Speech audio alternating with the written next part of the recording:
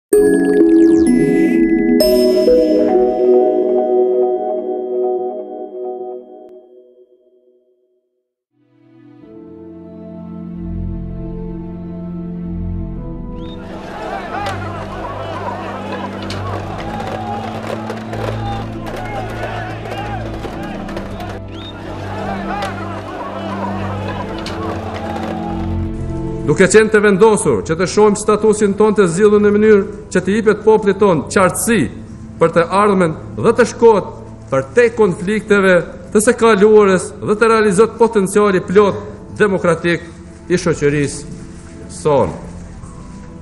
Ne, udhëheqësit e popullit tonë, të zgjedhur në mënyrë demokratike, nëpërmjet kësaj deklarate, shpallim Kosovën shtet të pavarur dhe demokratik. Ky ishte zotimi i liderëve politikë dhe kuvendit të Kosovës më 17 shkurt të vitit 2008 në ditën e shpalljes së pavarësisë. Sot, pas këtyre 8 viteve, Kosova gjendet larg objektivave të proklamuara në deklaratën e pavarësisë. Me gjithë punën e diplomacisë kosovare, vendi ka arritur të marrë vetëm 110 njohje si shtet i pavarur, ndërsa 5 vende të Bashkimit Europian, si Rumania, Sllovakia, Spanja, Qiproja dhe Greqia, ende nuk e kanë pranuar si të tillë. Në 8 vite, Kosova ia arriti të nënshkruajë marrëveshjen e stabilizim asociimit me Bashkimin Europian, dështoi të anëtarësohej në UNESCO, ndërsa mbetet pas në procesin e liberalizimit të vizave. Krahas procesit të njohjeve dhe integrimit evropian, Kosova po has në vështirësi të mëdha në ndërtimin e një shteti ligjor dhe në luftën ndaj korrupsionit. Nënshkrimi i marrëveshjes me Serbinë për krijimin e komunave serbe në veri të vendit dhe i marrëveshjes për përcaktimin e kufirit me Malin e Zi, e kanë futur Kosovën në një krizë të thellë politike. Kjo ka prodhuar një përplasje midis opozitës që i kundërshton marrëveshjet dhe qeverisë që i mbron ato.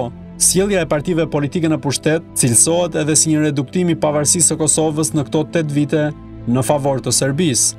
Në këtë përvjetor të 8 të pavarësisë së Kosovës, vendi gjendet në një situatë të krizës të thellë politike, që ka disa muaj që vazhdon, ka një mungesë të theksuar të kulturës politike për të gjetur kompromiset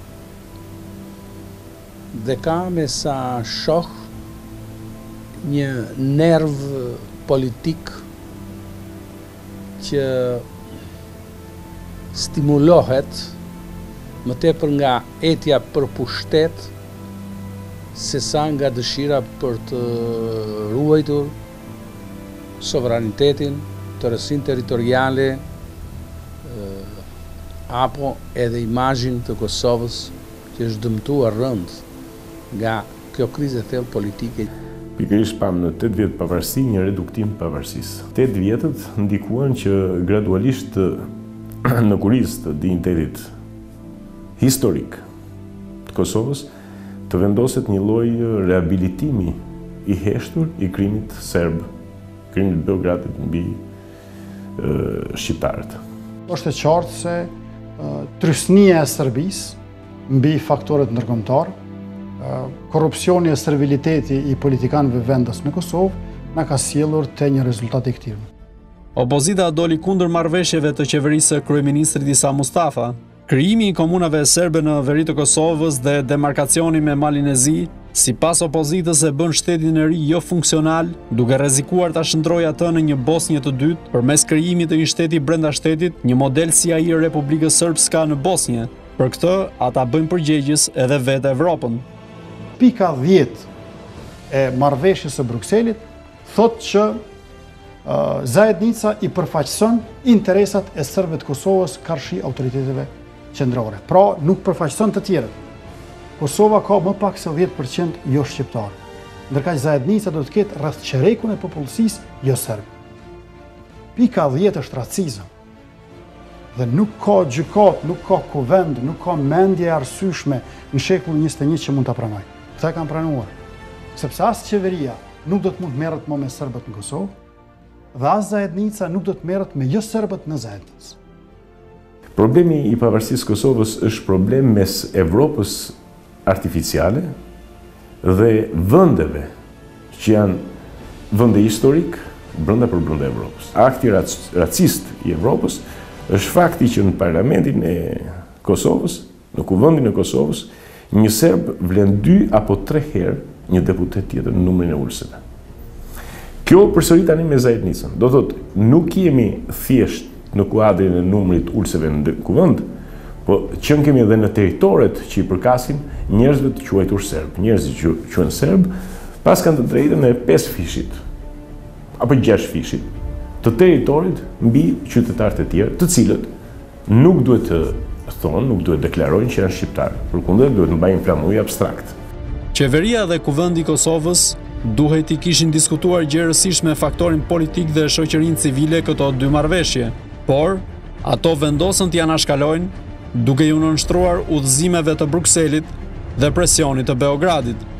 Vendime të tilla të rëndësishme që kanë të bëjnë me krijimin e asaj bashkësie të komunave serbe, që kanë të bëjnë me përcaktimin e vijës kufitare me Malin e Zi, që kanë të bëjnë me zgjedhjen e Presidentit të Republikës, të gjitha këto dhe shumë të tjera që lidhen me procesin e integrimit evropian të Kosovës, duhej të bëheshin në një klimë të qetë politike, në një klimë konsensuale, ku partitë politike në Kosovë, dhe jo vetëm ata, por edhe mendjet e mençura, intelektuale të Kosovës, përfaqësues të gjithë shtresave të përgjegjshme të shoqërisë atje, të diskutonin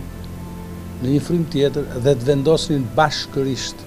Në qoftë se një qeveri nuk merr fare as miratim, as të drejtën nga Kuvendi, për deri ku do të shkojë me marrëveshjet e veta? Në qoftë se një qeveri përfaqëson Kosovën përballë armikut historik të shqiptarëve, Ne po flasim për serbët, kjo nuk është një çështje patologjie nga ana ime. Ne jemi duke folur për një shtet i cili edhe Akademinë e Shkencave e ka ndërtuar mbi mënyrën se si do spastrojë shqiptarët etnikisht. Jemi duke folur me një entitet që e quan Kosovën djepin e Serbisë, ende. Sado që ka krijuar plagë, ka vrarë njerëz, ka dhunuar, ka zhdukur pasuritë e kësaj treve, pra vazhdon të thotë që kjo trevë i përket. Do thotë nuk ka ndryshuar asgjë në planin e serbëve. Dhe qeveria e Kosovës jo vetëm anashkaloi kuvendin, po anashkaloi dhe historinë, historinë e shqiptarëve. Qeveria thotë se Kosova nuk po fal as një metër tokë në demarkacionin me Malin e Zi dhe se çdo gabim i bërë në marrëveshje do të korrigjohet. Por përkundër vendimit të Gjykatës Kushtetuese të Kosovës që i pezulloi marrëveshjet, sipas opozitës, qeveria nuk po tërhiqet nga qëndrimi i saj. Demarkacioni është një çështje e zgjidhshme, sepse askush s'mund t'ia merr asnjë pllamë tokë Kosovës, askush s'mund t'ia falë Malit të Zi atë. As e ka bërë. Toka është e jona, ajo që neve na takon. Në qoftë se është bërë ndonjë gabim, gabimi korrigjohet. Kemi vendimin e Gjykatës Kushtetuese. që e ka dhanë lidhur me Asociacionin e Komunave me shumicë sërbe, nuk do të jetë pushtet i tretë, s'do të jetë asnjë organ me kompetenca ekzekutive, nuk e prek dhe nuk e cenon sovranitetin e Republikës së Kosovës. Kryeministri është në panik. e ka një detyrë jo vetëm të poshtër, por edhe shumë të vështirë, që ta kthejë Serbinë në Kosovë në formën e kësaj zajednice. Kjo përveçse është e padrejtë, është edhe shumë e dëmshme, por besoj që kjo tregon shenjat e para se çka do të thotë zajednica për Kosovën. është një kthim i Serbisë, i cili do të na e sjellë luftën për brezin e ardhshëm. Meqenëse kur bëhen bashkë këto 10 komuna, një shtet brenda shtetit, atëherë luftën fëmijët tonë e kanë te dera. Një qeveri njerëzish të korruptuar nuk mund të bëjë mirë. Sepse në qoftë se ke korruptuar në mënyrë sociale, ekonomike, një vend, e ke prekur pavarësinë në mënyrë horizontale, në mënyrë bazike, në mënyrë themelore. Opozita intensifikoi protestat duke ndërprerë seancat në Kuvend. Ajo i ka transferuar kundërshtitë e saj edhe në sheshet e Prishtinës. Protestat e opozitës qeveria i cilëson të dhunshme dhe sipas saj kjo nuk është rrugëzgjidhja e krizës politike sepse dëmton vetë shtetin e Kosovës. Por opozita akuzon mazhorancën se po shndërrohet në një shtet policor duke arrestuar eksponentët e saj politikë. Me dhunë dhe protesta të dhunshme nuk mund të zgjidhet asnjë prej çështjeve. Forcën e argumentit nuk mund ta zëvendësojë gazi lotsjellës. As demokracinë tonë nuk mund ta reduktojmë në numra. Niveli i demokracisë sonë dhe kualiteti i saj do të përcaktohen nga dialogu mes pozitës dhe opozitës. Asnjëra palë nuk do të korrë fitore. Dhunën nuk do ta shndërrojmë në mjet politik. Sepse në atë mënyrë do ta zhbëjmë, do ta rrënojmë Kosovën. Kosovës i duhet ky dialog, i duhet ky dialog për reforma, ndërsa sa i përket koalicionit, koalicioni është jashtëzakonisht stabil, ka një mazhorancë shumë të fuqishme, me legjitimitet qytetar, jo vetëm çështje numrash, Prandaj vlerësoj se në interes të të gjithëve do të ishte që të kemi edhe një opozitë me të vërtetë të fuqishme, demokratike, por në suaza të veprimit demokratik. Në Kosovë kemi të bëjmë me një vullnet ekzekutiv policor, vetë faktet e fundit, arrestohen dhe përpara protestës aktivistë të Vetëvendosjes dhe jo, jo pak po kryetari i grupit parlamentar. Kjo tregon që kemi një vullnet ekzekutiv policor. Në vend të këtij vullneti ekzekutiv policor, ne duhet të sjellim një vullnet kushtetues qytetar. Situata politike në Kosovë ka hyrë në një qorrsokak të atillë, ku rrugëdalja shihet tek zgjedhjet e parakohshme.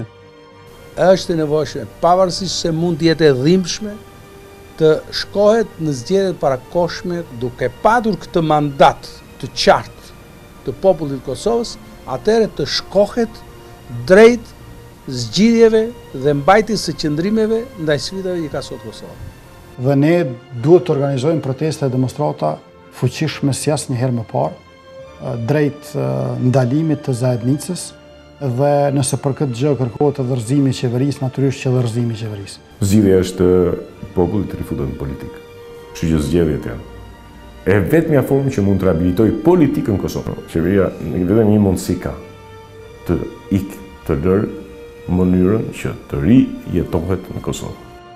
Por a do të prodhojë Kosova një frymë të re politike nëse mbahen zgjedhjet e parakohshme, kur vendi gjendet midis dilemash të shumta? Forca politike që do të fitojë zgjedhjet e mundshme do të përballet me presionin e faktorit ndërkombëtar për t'iu përmbajtur dialogut me Beogradin, si kusht për integrimin evropian të vendit, shtimin e njohjeve të pavarësisë, dhe nga ana tjetër zhbërjen e marrëveshjeve me Serbinë dhe Malin e Zi si mënyrë për mbrojtjen territoriale të shtetit të Kosovës. Për një shtet tetëvjeçar në një rajon gjaknxehtë siç është ai i Ballkanit, këto janë sfida që do ta maturojnë ose do ta mbajnë në vendnumëro shtetin e Kosovës.